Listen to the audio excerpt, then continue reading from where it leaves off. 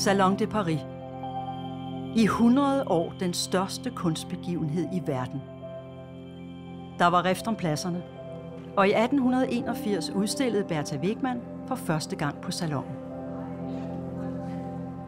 Det var med værket kunstneren Shanna Baug, som hun modtog en hederne omtale for.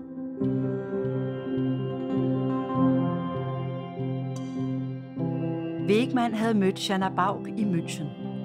Et samlingssted for de nordiske kunstnere, ikke mindst de kvindelige, som i Tyskland havde andre og bedre vilkår for at udveksle og uddanne sig end i Norden.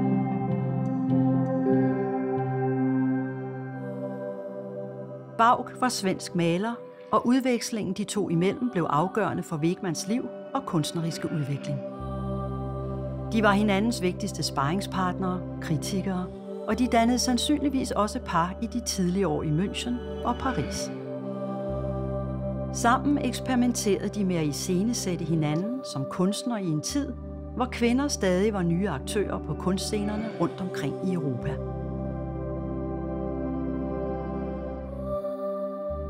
De tog på udflugter uden for byen, boede, talte, skrev og malede sammen. De skabte sammen et frirum, hvor de havde mulighed for at arbejde på egne præmisser.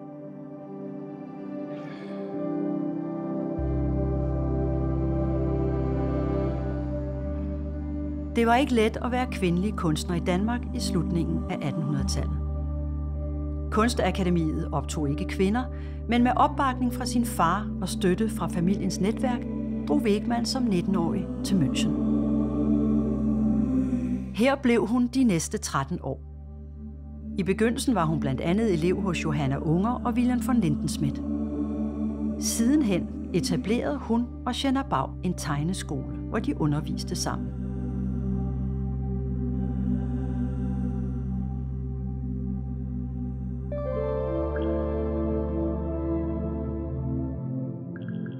Den tyske stil var ikke fremmed for Wigman. Hun blev født i Schweiz, men flyttede til Danmark som femårig, hvor hun som ung modtog undervisning hos etablerede kunstnere. Blandt andre F.C. Lund, der selv var rundet af den tyske malestil.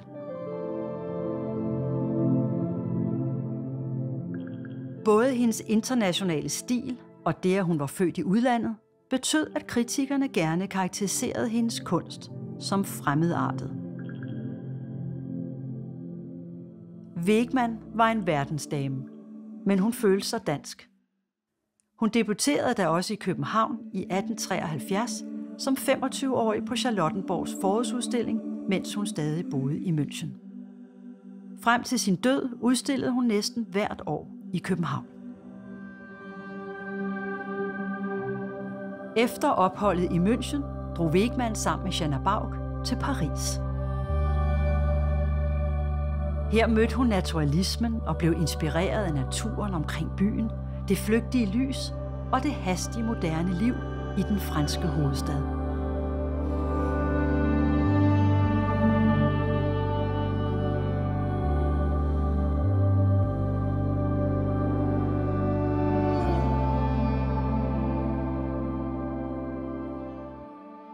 Bag sig havde Wegman den indflydelsesrige Melchior-familie som mæscener.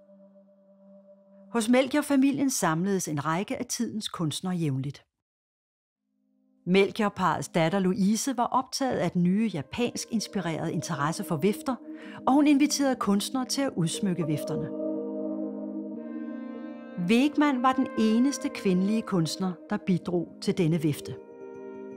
Det samme gælder stort set Melchior-familiens gæstebog, hvor i de monterede skitser for kunstnere, som kom i deres hjem på Højboplads.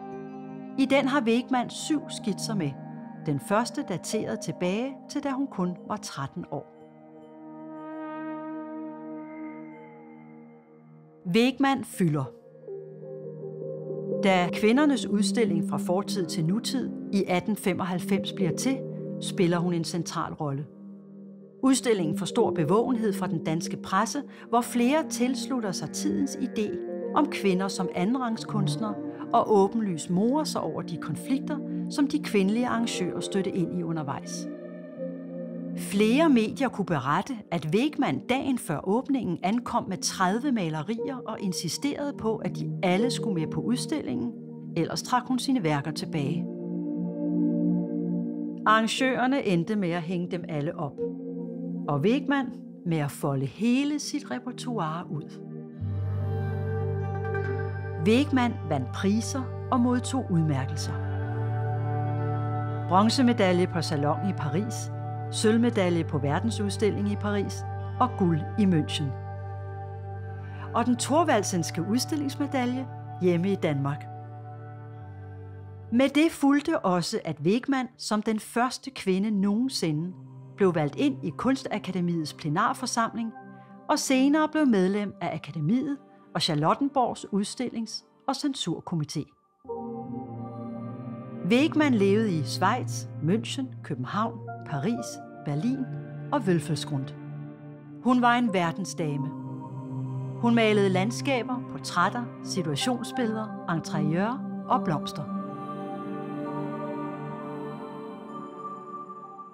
Hun gik sine egne veje i livet, såvel som i de store byer, bjerge og skove, som hun gerne opsøgte og tegnede og malede skjulte afkroge af. I 1890'erne kom den 17 år yngre Toni Møller ind i Wegmans liv.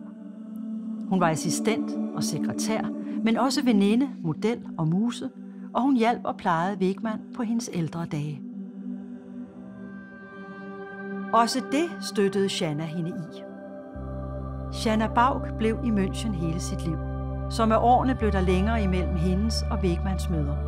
Men de fuldtes tæt, kunstnerisk og personligt lige til det sidste. De døde begge to i 1926.